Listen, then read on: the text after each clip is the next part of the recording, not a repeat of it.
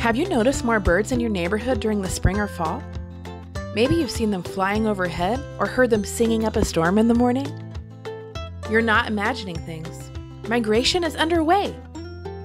Nebraska is home to more than 400 species of birds.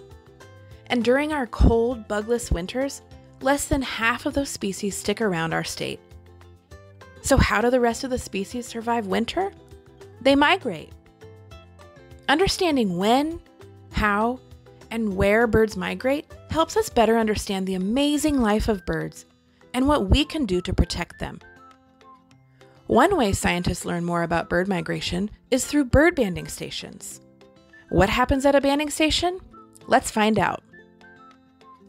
At a banding station, there are special scientists called bird banders. To be a bird bander, you need a special scientific permit and a lot of experience and training. This assures each bird is handled with care and expertise, and their safety is always top priority. Banders place bracelet like aluminum bands with a unique number on birds that pass through the station. But before they can band the birds, they have to catch them first.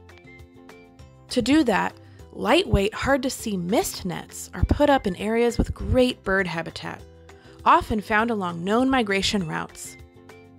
Birds passing by might not be able to see the nearly invisible net, causing them to fly in and land in its pockets like a hammock. A bird bander does a net run by checking the nets carefully every 15 minutes for birds.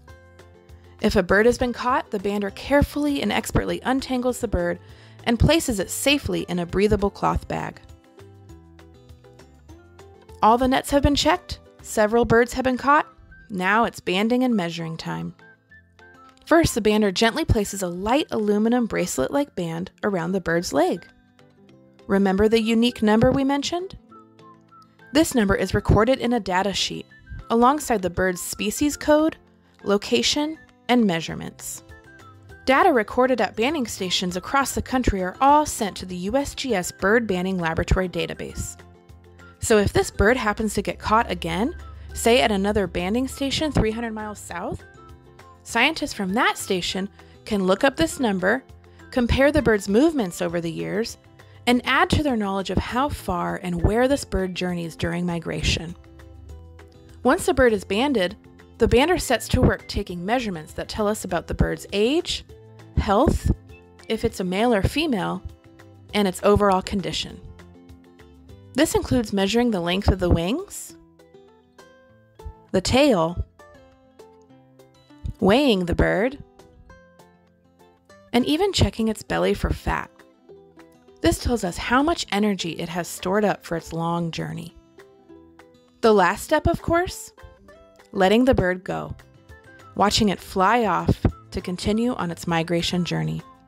Bird banding has been around for over 100 years now. And through this method, scientists have learned a lot about bird populations, migration routes, critical habitats, and more. The more we understand about birds, the better we can understand how to protect them, assuring thriving bird populations for the future. So, next time you see new feathered friends visiting your area in the fall or spring, take a closer look at their leg for a special band and wish them luck on the rest of their migration journey.